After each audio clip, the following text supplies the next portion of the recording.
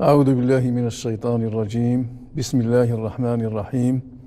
الحمد لله رب العالمين والصلاة والسلام على خاتم الأنبياء والمرسلين وعلى آله وأصحابه أجمعين وعلى كل من تبعهم بإحسان إلى يوم الدين. ولا حول ولا قوة إلا بالله العلي العظيم ولا حول ولا قوة إلا بالله العلي العظيم. ولا حول ولا قوة إلا بالله العلي العظيم. اللهم لا سهل إلا ما جعلته سهلا وأنت تجعل الحزن إذا شئت سهلا. أما بعد فقد كنا وقفنا على صفة الحياة من جهة تعلقاتها. وقبل ذلك وقبل مواصلته والاستمرار على ذكر مسائله أريد أن أختبر أذهانكم فيما تقدم من المسائل وخصوصا التي تحتاج إلى هذا الاختبار وهذا التمرين حتى تستوعب المسائل كلها بما في ذلك المسائل العويصة المعقدة الصعبة. ومن تلك المسائل مسألة الإيمان وهل يزيد أو ينقص؟ فقد بينا أن العلماء اختلفوا في الإيمان هل يزيد أو ينقص. فما هي مذاهبهم في ذلك؟ مذاهب العلماء في زيادة الإيمان ونقصانه هل يزيد وينقص أم لا يزيد ولا ينقص؟ ماذا تقولون؟ قلنا بأن هناك مذاهب أو أن هناك أقوالا وليس في هذه المسألة قول واحد فقط. فيها ثلاثة أقوال. القول الأول أن الإيمان يزيد وينقص وهذا هو الذي بدأ به وهو الراجح والمشهور وهو الذي عليه المعول أن الإيمان يزيد بزيادة طاعة وينقص بنقصانها. هذا هو القول المعول عليه.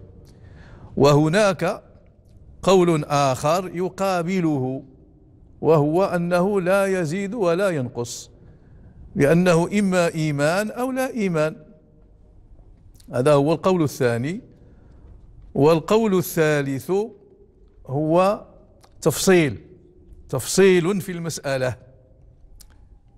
ونفي أن يكون فيها الخلاف لأنه جامع بين القولين معا. جامع بين القولين معا. هذا القول الثالث ما هو؟ القول الثالث قلنا إنه جامع بين من قال الإيمان يزيد وينقص ومن قال الإيمان لا يزيد ولا ينقص. هذا القول الثالث ذهب أصحابه إلى أن الإيمان له جهتان. الجهة الأولى هو التصديق القلبي التصديق القلبي الباطني الخفي. والجهة الثانية جهة العمل. فأما من جهة التصديق القلبي فهو لا يزيد ولا ينقص. وأما من جهة العمل فهو يزيد وينقص. هذا هو القول الثالث الجامع بين القولين السابقين. وقلنا إن هذا القول نفسه شطره الأول الذي هو أن الإيمان من جهة كونه تصديقا بالقلب وأنه من هذه الناحية هو تصديق باطني تصديق خفي لا يظهر وأنه من هذه الناحية لا يزيد ولا ينقص. يمكن القول أيضا بأنه من هذه الناحية يزيد وينقص. يزيد بكثرة ما يظهر للشخص من الدلائل والبراهين القطعية التي تجعله يزداد إيمانا بالإضافة إلى تأييد الله عز وجل وتوفيقه إلى التعمق والرقي في هذا الإيمان. وإلى أن يدرج فيها أو في هذا الإيمان المؤمن مدارج الإيمان العالية. فإذا حتى هذا القول الثالث يمكن أن نفرع عنه وأن نستل منه قولا آخر.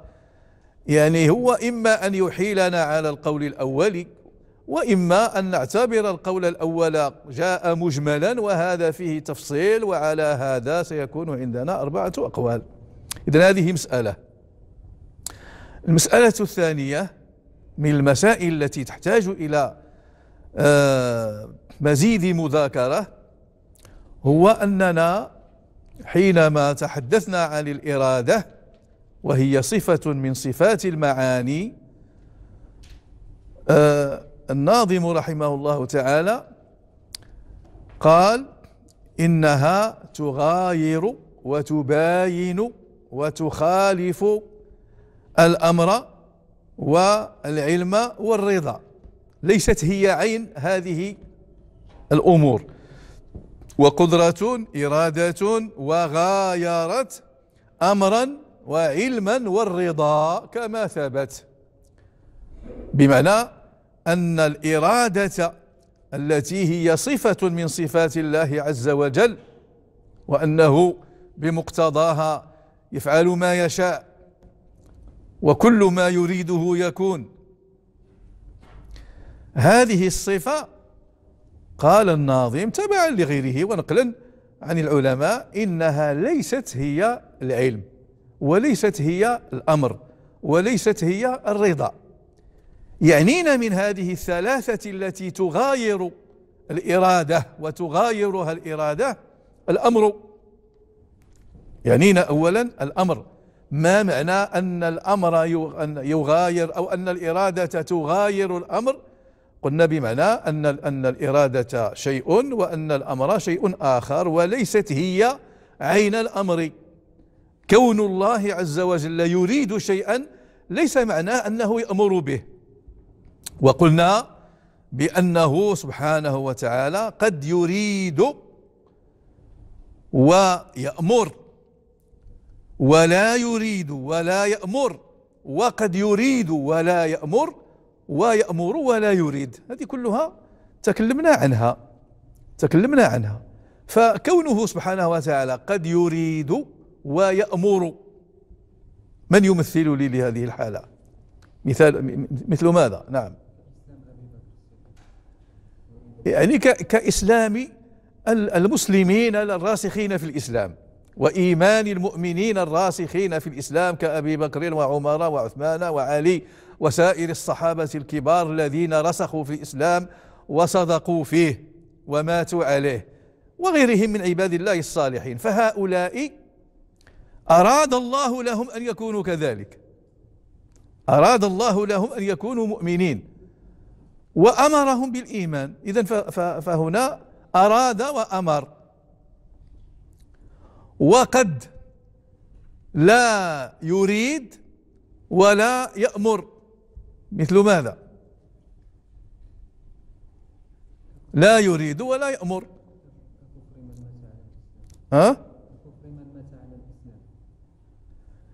نعم هؤلاء أنفسهم لا يريد الله لهم أن يكفروا ولم يأمرهم بذلك. لم يأمرهم بذلك. والذين قضى الله عز وجل في الأزل ألا يكونوا أصلا. الذين لم يرد الله عز وجل أن يوجدهم فبقوا في العدم. فهؤلاء نقول في حقهم لم يرد الله تعالى لهم. يعني إسلاما ولا إيمانا ولم يأمرهم بذلك لأنهم معدومون. لأنهم معدومون. ثم قلنا إن الله تعالى قد يريد ولا يأمر. قد يريد ولا يأمر. مثل ماذا؟ ككفر يعني الطغاة المتمردين على الإسلام والمعادين لنبي الإسلام كأبي جهل وأبي لهب وغيرهما. فهؤلاء لم يأمرهم الله تعالى بالكفر. ولم يرد لهم أن يكونوا مؤمنين. فهو إذا لم يرد أن يكونوا مؤمنين ولم يأمرهم بالكفر. أراد لهم أن يكونوا كذلك أن يكونوا كافرين وأن يموتوا على كفرهم. ثم قد يأمر الله عز وجل ولا يريد. مثل ماذا؟ قد يأمر ولا يريد. قد يأمر بالإيمان ولا يريده. لهؤلاء الطغاة. إذا فخلاصة من هذا أن الإرادة والأمر متغايران متغايران.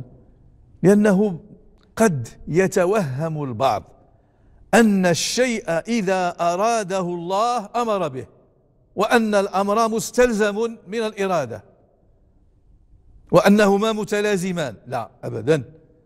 لذلك نبه على هذه المسألة حتى لا يتوهم أحد أن الأمر والإرادة متلازمان.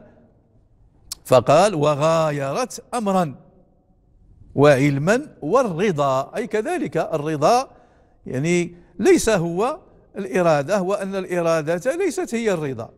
فالله عز وجل إذا أراد شيئا ليس معناه أنه رضي به. فلذلك غايرت الإرادة الرضا.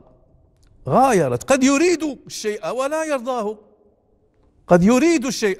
كما ذكرنا من قبل أنه أراد لأبي جهل ولأبي لهب ولغيره من الطغاة وأعمدة الكفر. أراد لهم أن يكونوا كذلك وأن يبقوا كذلك لما سبق في علمه سبحانه وتعالى من أنهم لم يستجيبوا ولم يخرجوا من عنادهم ولن يهتدوا وما إلى ذلك. فأراد لهم أن يكونوا هكذا وأن يموتوا على ذلك. لكنه لا يرضى لعباده الكفر. لا يرضى لعباده الكفر. فهو إذن أراد ولم يرضى. أراد لهم الكفر والموت عليه ولا يرضى أبدا لعبد من عباده الكفر. فإذا هذا معنى آه، قول الناظم رحمه الله تعالى وغايرت أمرا وعلما والرضا كما ثبت كما ثبت. إذا فقضية الرضا نذكرها مع الإرادة لا مع الأمر. يعني آه، قد يريد ولا يرضى. لا نقول يأمر ولا يرضى لأن الأمر جئنا به بصفته مغايرا للإرادة. كما أننا تكلمنا عن الرضا بصفته مغايرا للإرادة. فلتتضح لكم الإرادة أكثر. هذه الصفة من صفات الله عز وجل. ينبغي أن تعلموا أنها ليست هي عين الأمر ولا عين العلم ولا عين الرضا. هذه إذا مسائل فيها شيء من يعني, يعني الصعوبة ينبغي أن تراجع هكذا. ثم نتابع مع الناظم رحمه الله تعالى فقد قال وغير علم هذه كما ثبت ثم الحياة ما بشيء تعلقت.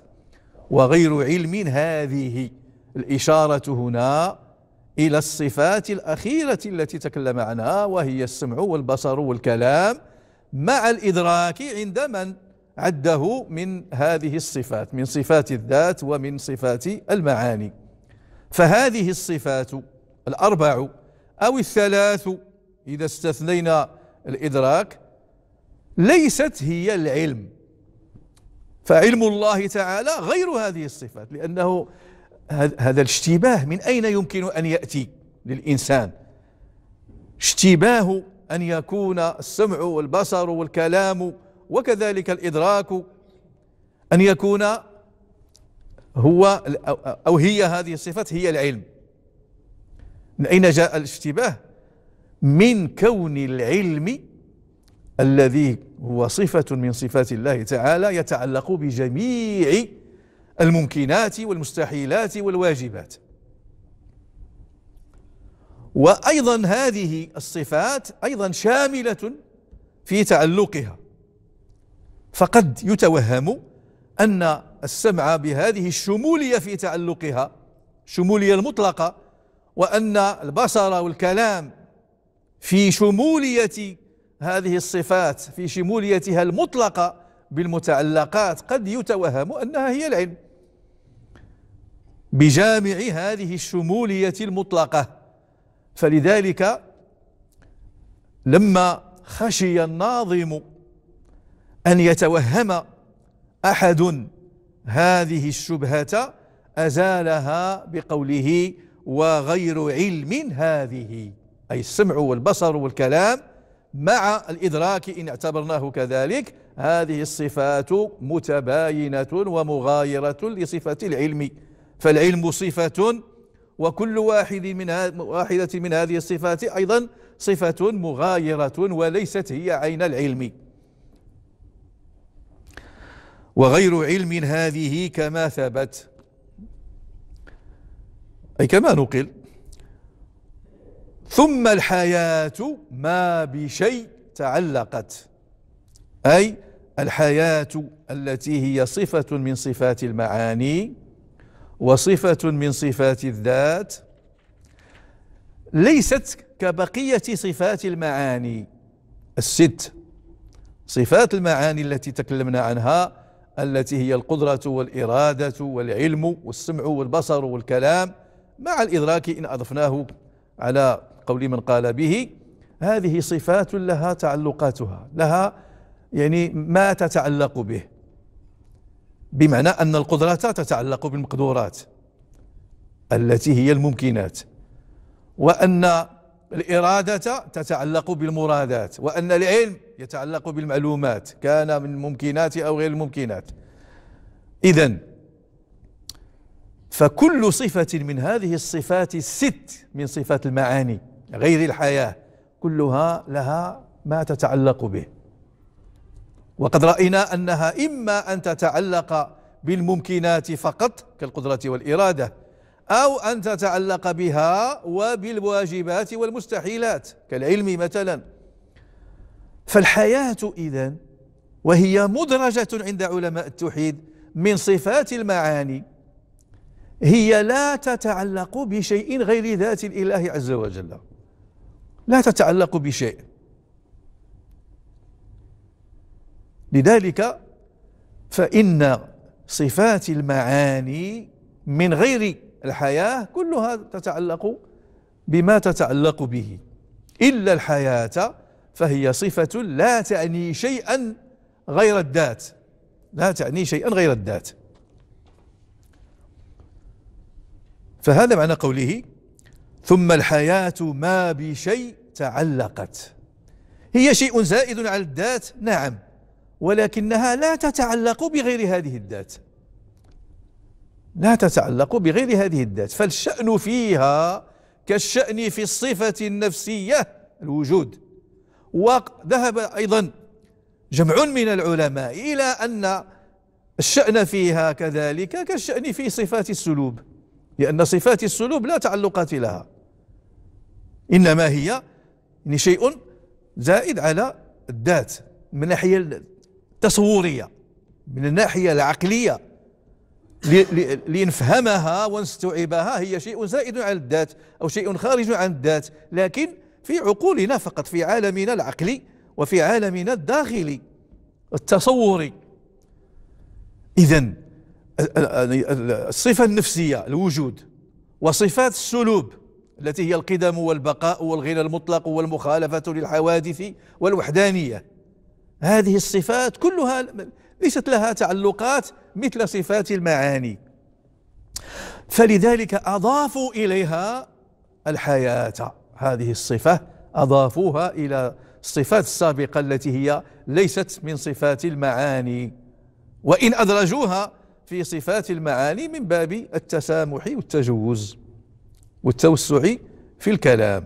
ولكن الحياة وإن لم تتعلق بشيء سواء كان ذلك الشيء موجودا أو معدوما أو معدوما لم تتعلق بشيء غير الذات مما هو موجود ومن باب أولى أنها لم تتعلق بشيء معدوم. فلا علاقة لها بغير الذات التي هي محلها محلها. لذلك قال ثم الحياة ما بشيء تعلقت. أصلها ما بشيء وإنما يعني سهل هذه الهمزة للوزن للوزن. ثم قال وعندنا أسماؤه العظيمة كذا صفات ذاته قديمة. هذا البيت تكلم فيه عن مسألة من المسائل العقدية من المعتقدات التي يجب الإيمان بها وهي أن أسماء الله عز وجل وصفاته سبحانه وتعالى كل ذلك قديم. ليس محدثا. وعندنا أي وعندنا نحن أهل الحق أهل السنة والجماعة ومنهم الأشاعرة. أن آه، أسماء الله عز وجل العظيمة أي المقدسة المطهرة المعظمة. وكذلك صفاته سبحانه وتعالى وقد تقدم الحديث عنها.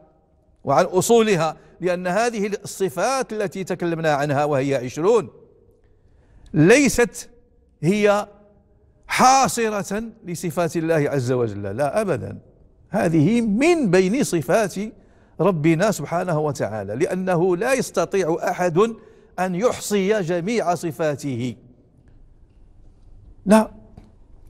فنحن حينما نتحدث عن هذه الصفات نقول من صفاته تعالى ثم نتلو هذه الصفات ونعددها.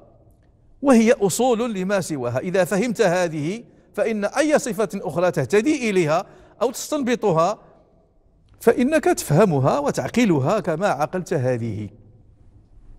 وعندنا أسماؤه العظيمة أسماء الله الحسنى التي هي تسعة وتسعون اسما.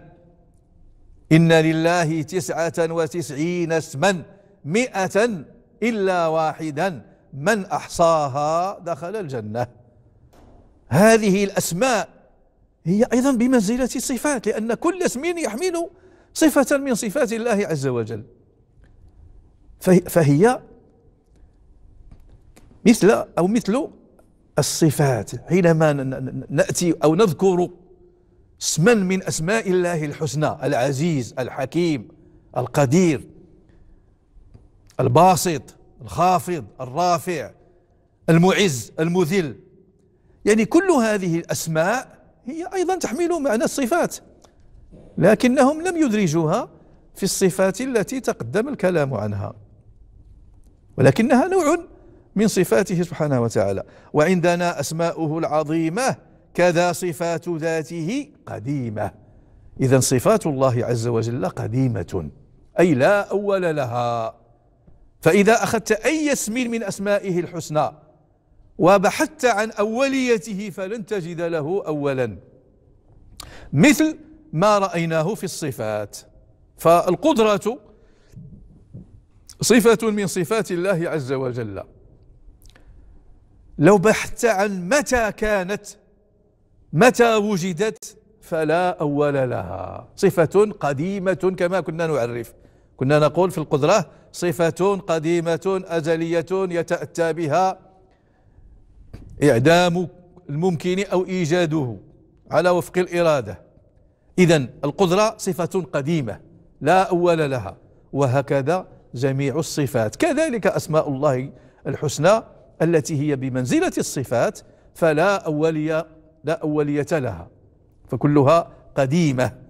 وإنما قال وعندنا أي نحن أهل الحق نحن أهل السنة والجماعة ليخرج من ليس من هؤلاء وهم المعتزلة. فالمعتزلة وإن كانوا فرقة إسلامية لم يقولوا بقدم الصفات ولا بقدم الأسماء. قالوا إن هذه الصفات وهذه الأسماء من وضع البشر. يعني البشر الخلق عندما قرأوا النصوص القرآنية والحديثية استنبطوا منها بفهومهم هذه الصفات فهي من وضعهم ومن استنتاجهم ومن استنباطهم ومن فهمهم للنص الشرعي. هذا هكذا يفهم المعتزلة ومن على شاكلتهم. وقالوا إن هذه الصفات لو كانت قديمة للزم القول بتعدد القدماء. للزم القول بتعدد القدماء وهذا شرك. فإذا نحن قلنا طبعا هذا على لسانهم نحن قلنا إن الله عز وجل واحد لا شريك له. فإذا قلنا بأن الصفات قديمة وأسماءه قديمة فهذا قول بتعدد القدماء. والله تعالى منزه عن ذلك. ولكن أهل السنة أجابوا عن ذلك. أهل السنة من من الأشاعرة والماتريدية وغيرهم من السلف الصالح أجابوا عن هذا الفكر الاعتزالي الذي ينفي وصف هذه الصفات بالقدم. أجابوا عن ذلك بأن هذه الصفات ليست منفكة عن الله عز وجل. نحن قلنا سابقا هي ليست بغير الذات ولا بعين الذات. يعني هي وإن تصورنا أنها غير الذات لكن غيريتها هذه ليست غيرية منفصلة وإنما هي غيرية متصلة. وتلك الغيرية في حد ذاتها هي أصلا إنما هي غيرية بتصورنا نحن بتقريب الفهم لعقولنا. نتصور أن صفة من صفات الله عز وجل هي غير ذاته وأنها زائدة على معنى الذات. هذا فقط للفهم.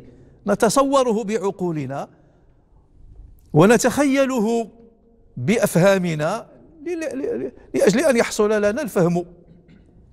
فحينما نقول إن القدرة غير الذات القادرة ليس معنى هذا أن الله تعالى في وقت من الأوقات لا يكون قادرا. ليس معنى هذا أن القدرة لا تلازم محلها الذي هو ذات الله عز وجل. لا. القدرة صفة من صفات الله تعالى. لا يمكن أن تبارحه أبدا ولا يمكن أن, أن, أن يكون في في لحظة غير قادر أبدا. وإنما انفكاكها من الناحية العقلية فقط تصورية. لأن التصور يجوز أن يقع على كل شيء حتى على المحال. حتى على المحال حتى قالوا يفرض المحال للحكم عليه. معنى يفرض المحال؟ يعني يفترض يتصور. يتصور عقلا من أجل الحكم عليه. فلذلك حينما نقول إن هذه الصفات غير الذات وأنها زائدة على الذات فليس معنى هذا أنها منفكة عن الذات. لذلك هذه الغيرية التي تحدث عنها الأشاعرة هي غيرية متصلة. وليست غيرية منفصلة. ليست القدرة في واد ومحلها الذات الإلهية في واد آخر. ليست هذه مستقلة عن محلها. أبدا ليس هذا هو المقصود. وإنما المقصود بهذا الانفكاك الانفكاك في التصور فقط. في التصور. لذلك فإن القول بتعدد القدماء هذا غير صحيح هذا باطل هذا باطل لأننا لا نقول أصلا بأن صفات الله تعالى شيء منفك عن ذاته انفكاكا كليا ومغاير لذاته مغاي مغايرة يعني منفصلة. لا أبدا. هذيك المغايرة مغايرة في التصور مغايرة في يعني العقل فقط. من أجل فهم هذه الصفات فصفات الله عز وجل قديمة قديمة. قدرة الله تعالى لا أولية لها وإرادته كذلك وسائر الصفات. قدم الله عز وجل هل تجد هل تجد له يعني هل لك أن تجد أولية للقدم؟ لو وجدت الأولية للقدم إذا فهو ليس بقديم هو محدث وهكذا في سائر الصفات. وعندنا أسماؤه العظيمة كذا صفات ذاته قديمة. صفات ذاته أي الصفات التي تتصف بها الذات العلية المقدسة لله سبحانه وتعالى. فهذه الصفات هي قديمة. وقدمها لا يعني أنها منفكة عن محلها حتى نقول بتعدد القدماء. ثم قال واختير أن اسماه توقيفية واختير أن اسماه توفيقية كذا الصفات فاحفظ السمعية. مسألة أخرى مفيدة في هذا المقام وفي هذا الباب وهي أن أسماء الله عز وجل وأن صفاته سبحانه وتعالى هي توقيفية. ليس لأحد أن يسمي الله عز وجل باسم ولا أن يصفه بوصف إلا إذا ثبت ذلك عن الشارع. صلوات الله وسلامه عليه. ما لم يرد النص من القرآن الكريم أو من السنة النبوية أو أن ينعقد الإجماع على اسم أو على صفة فلا يجوز نسبة ذلك إلى ربنا عز وجل. إذا فأسماء الله تعالى توقيفية أي واردة عن الشرع. واردة عن النبي صلى الله عليه وسلم هو الذي أخبرنا بها. وكذلك صفات الله عز وجل توقيفية أي واردة عن الشرع. إما أنها منصوصة في القرآن أو في السنة النبوية فإن لم تكن لا هنا ولا هنا فقد انعقد الإجماع عليها. وهذه هي التوقيفية هي الثابتة بالنص أو بالإجماع. لأن الإجماع لا يمكن أن ينعقد على باطل لا تجتمع أمتي على ضلالة. واختير أن أسماه هي أصل, أصل الكلام واختير أن أسماءه. ولكن الوزن لا لا يستقيم إذا قال أسماءه. فلذلك يعني ارتكب هذه الضرورة من أجل أن يستقيم اللفظ مع الوزن. فقال واختير أن اسماه أي أن أسماءه فسهل هذه الهمزة بهذه الطريقة حتى يستقيم الوزن. واختير أن اسماه توقيفية كذا الصفات فاحفظ السمعية. أي كن حذرا في حفظ الصفات والأسماء الوارد بها الشرع والوارد بها النص والإجماع حتى لا تخرج عنها فتسمي الله عز وجل باسم من اجتهادك أو تصفه بصفة من اجتهادك يعني وفهمك. لا لا بد أننا لا نسمي الله سبحانه وتعالى إلا بما ورد من الشرع. بالنسبة لأسمائه. وكذلك لا نصفه إلا بما ورد من الشرع نفسه. قد يقول قائل القدم والبقاء وهذا كل هذا كله يعني أين تجده؟ فنحن قلنا إذا لم نجد في النص ولا يعني يعني لا في القرآن ولا في السنة فالإجماع فالإجماع أيضا لأنه لا يمكن أن تجتمع آه، الأمة وعلماؤها على شيء ليس بصحيح وعلى شيء هو باطل. ثم ذكر بعد ذلك مسألة في غاية الأهمية وهي إذا ورد في هذا النص الشرعي المثبت لهذه الصفات ولهذه الأسماء.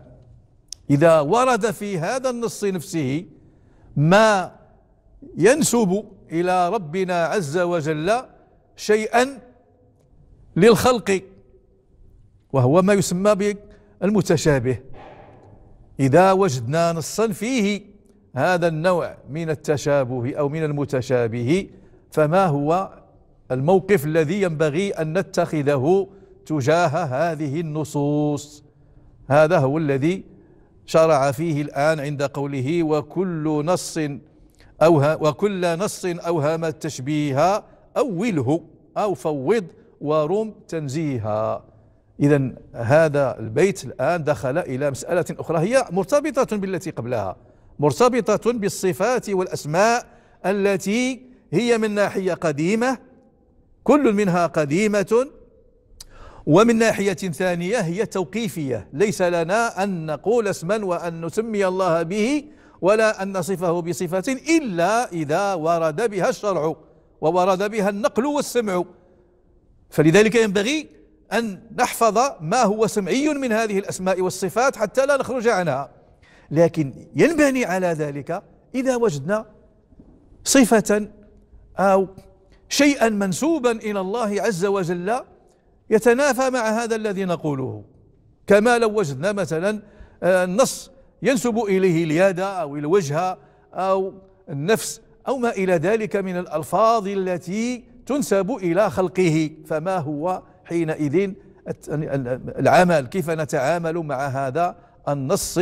وهذا هو الذي سنبينه في الحلقة القادمة إن شاء الله تعالى والحمد لله رب العالمين.